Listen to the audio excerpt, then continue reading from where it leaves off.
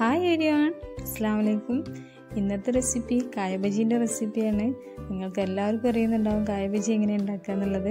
പക്ഷേങ്കിൽ ഞാൻ ഉണ്ടാക്കുന്ന ഒരു വീഡിയോ അത് എങ്ങനെയെന്നുള്ള രീതിയാണ് കാണിക്കുന്നത്. അപ്പോൾ എല്ലാവരും ഈ വീഡിയോ കണ്ടു നോക്കണം. ഇൻഷാല്ല എല്ലാവരും ട്രൈ ചെയ്ത് നോക്കിയിട്ട് നിങ്ങളുടെ ഫീഡ്ബാക്ക് ഒക്കെ അറിയിക്കാനും മറക്കണ്ട. അപ്പോൾ എന്തായാലും കായബജി എങ്ങനെ ഉണ്ടാക്കുന്നതെന്ന് നോക്കാം.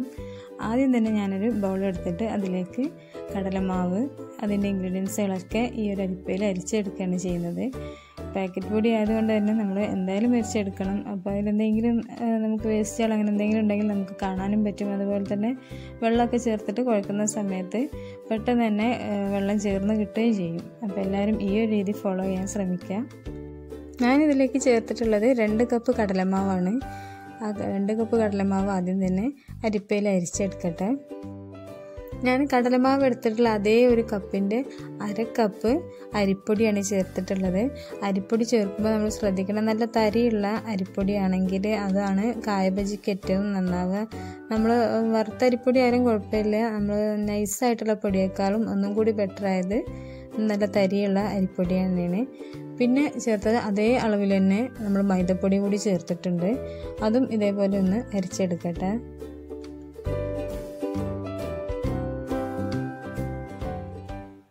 ഇനി ഇതിലേക്ക് ചേർക്കാനുള്ളത് ഒരു ടീസ്പൂൺ കാശ്മീരി മുളക് പൊടിയാണ്. കാശ്മീരി മുളക് പൊടി ആകുമ്പോൾ നല്ല കളറുണ്ടാവും എരിവും കുറവായിരിക്കും. പിന്നെ ചേർത്തത് അര ടീസ്പൂണ് സോഡാപ്പൊടി. സോഡാപ്പൊടി ഓപ്ഷനിലാണ് കടലമാവ് ആയതുകൊണ്ട് തന്നെ വേണമെന്നില്ല. പിന്നെ ചേർത്തത് ഇഞ്ചി വെളുത്തുള്ളി പേസ്റ്റാണ് ഇത് ക്രഷ് ക്രഷ് ആയിട്ടുള്ളതെല്ലാം നന്നായിട്ട് അരച്ചെടുത്തിട്ടുള്ള പേസ്റ്റ് തന്നെയാണ് ചേർത്തിട്ടുള്ളത്. അങ്ങനെ ആയിരിക്കുമ്പോഴാണ് ഇത് കായബജി പൊങ്ങി വരുമ്പോഴൊക്കെ നല്ല ഈസി ആയിട്ടുണ്ടാവും. പിന്നെ കുറച്ച് അര ടീസ്പൂൺ ഉപ്പ് കൂടി ചേർത്തിട്ടുണ്ടായിരുന്നു. ഇപ്പോൾ ഞാൻ ചേർത്ത് കൊടുത്തിട്ടുള്ളത് ഒരു നുള്ള ഒരു പിഞ്ച് കായം ഞാൻ കുറച്ച് ചുടുവെള്ളത്തിലിട്ട് വെച്ചിട്ടുണ്ടായിരുന്നു. അത് ഞാൻ ഇതിൽ ചേർത്തിട്ടുണ്ട്.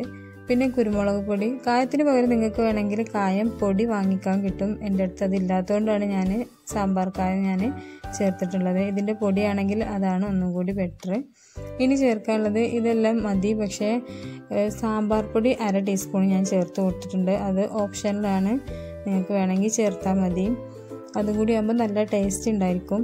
അങ്ങനെ ഇനി ചേർക്കാനുള്ളത് കുറച്ച് വെള്ളം ചേർത്തിട്ട് ഇത് കട്ടയില്ലാതെ നമ്മൾ നല്ല ദോശമാവിന്റെ അത്ര തന്നെ ലൂസ് അല്ലാത്തൊരു പരുവത്തിൽ ഒരു മാവാക്കി എടുക്കുകയാണ് ചെയ്യുന്നത്.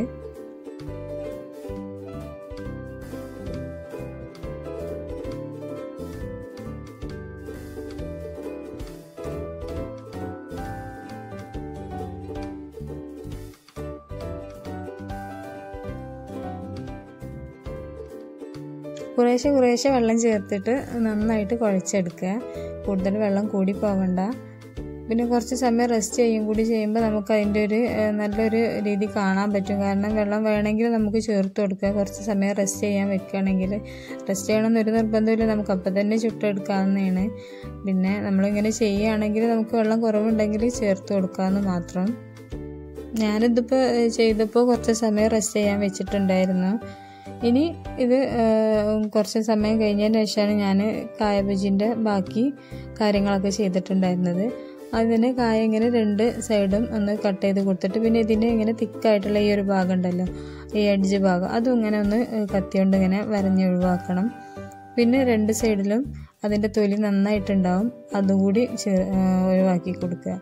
ഇനി ഈ രണ്ട് സൈഡിൽ ചെറുതായിട്ട് നിൽക്കുന്നുണ്ട്. അത് ഞാൻ ഒഴിവാക്കുന്നില്ല. അതേ കായബജിന്റെ ആ ഒരു രീതിക്ക് അതിന് കാണാനൊരു ഭംഗിക്ക് അത് അങ്ങനെ തന്നെ നിൽക്കട്ടെ എന്ന് വിചാരിച്ചു. അത് വേണമെങ്കിൽ നിങ്ങൾക്ക് ഒഴിവാക്കാം. ഈ ഒരു ബ്ലേഡ് വെച്ചിട്ടാണ് കട്ട് ചെയ്യുന്നത്. അതാണ് ഏറ്റവും നല്ലത്. നല്ല തിന്നായിട്ടുള്ള ഒരു ഇതാ ഈ ഒരു ഫോമിൽ നമുക്ക് കിട്ടും. അപ്പോൾ ഈ സൈഡിൽ ഇങ്ങനെ അതിന്റെ ഒരു തൊലി ഉണ്ടെങ്കിൽ അത് കുഴപ്പമൊന്നുമില്ല. അപ്പോൾ എല്ലാവരും ഇതേപോലെ ചെയ്യാൻ ശ്രമിക്കാം.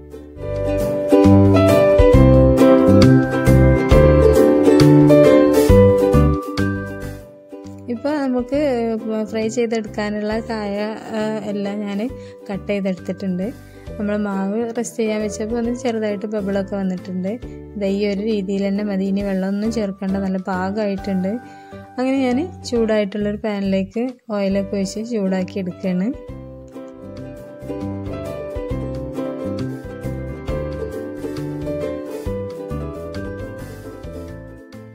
ഓയിൽ ചൂടായി വന്നപ്പോൾ ഇതാ ഞാൻ കായ ഓരോന്നും മാവിൽ മുക്കിയിട്ട് ഈ എണ്ണയിലേക്ക് ഇട്ട് കൊടുക്കുകയാണ് നന്നായിട്ട് ചൂടായിട്ടുണ്ട്. എല്ലാം പെട്ടെന്ന് തന്നെ പൊങ്ങി നിൽക്കുന്നുണ്ട് ഇത് നല്ല ടേസ്റ്റി ആയിട്ടുള്ളൊരു ഡിഷ് തന്നെയാണ്. നിങ്ങൾ റമദാനൊക്കെ നിങ്ങൾക്കൊന്ന് തയ്യാറാക്കി നോക്കുക. അതുപോലെ തന്നെ ഈ നമ്മൾ ഇത്രയും ഇൻഗ്രീഡിയൻസ് ഒന്നും ചേർക്കാതെ തന്നെ നമുക്കിത് ഉണ്ടാക്കിയെടുക്കാൻ പറ്റും. ഒരു ബജിമാവ് ആച്ചി ബജിമാവ് എന്ന് പറഞ്ഞിട്ട് ഒരു ബജിമാവിന്റെ പാക്കറ്റ് വരുന്നുണ്ട്. അത് ഇവിടെ ഒന്നും അങ്ങനെ കിട്ടുന്നില്ല. തമിഴ്നാട് ഭാഗത്തൊക്കെ ഇത് എല്ലാ എല്ലായിടത്തും കിട്ടുന്നുണ്ട്. നിങ്ങൾ ഇവിടെ എവിടെയെങ്കിലുമൊക്കെ വാങ്ങിക്കാൻ കിട്ടുന്നുണ്ടെങ്കിൽ അത് വാങ്ങിച്ചിട്ട് ചെയ്തൊക്കെ സൂപ്പർ ടേസ്റ്റാണ് ആരും അത് ഒരു തവണ കഴിച്ച് കഴിഞ്ഞാൽ വീണ്ടും വീണ്ടും ആ ഒരു പാക്കറ്റ് തന്നെ ആയിരിക്കും എല്ലാവരും വാങ്ങിക്കുക. ഇപ്പോൾ അത് ഇവിടെ കിട്ടാനില്ലാത്തതുകൊണ്ടാണ് ഞാൻ ഇത് വെച്ചിട്ട് ചെയ്യുന്നത്. ഇതിന്റെ കൂടെ കഴിക്കാൻ വേണ്ടിയിട്ട് സൈഡായിട്ട് ഏറ്റവും നല്ലത് ഒരു തേങ്ങാ ചട്ടി ഉണ്ട്. അതുകൂടി കാണിക്കാനും വീഡിയോ ലെങ്ത്തായി പോകും. അതുകൊണ്ട് ഞാനത് ഇതിൽ കാണിച്ചിട്ടില്ല. ഇതിലിപ്പോൾ ഞാൻ സൈഡായിട്ട് വെച്ചിട്ടുള്ളത് മയണൈസാണ് മയണൈസ് കൂട്ടിയിട്ടും സോസ് കൂട്ടിയിട്ടും കഴിക്കാൻ എല്ലാവരും ഈ ഒരു റെസിപ്പി തയ്യാറാക്കി നോക്കിയിട്ട് ഫീഡ്ബാക്കൊക്കെ അറിയിക്കുക. അപ്പോൾ വീണ്ടും വരാം. അതുവരേക്കും അസ്സാം വലൈക്കും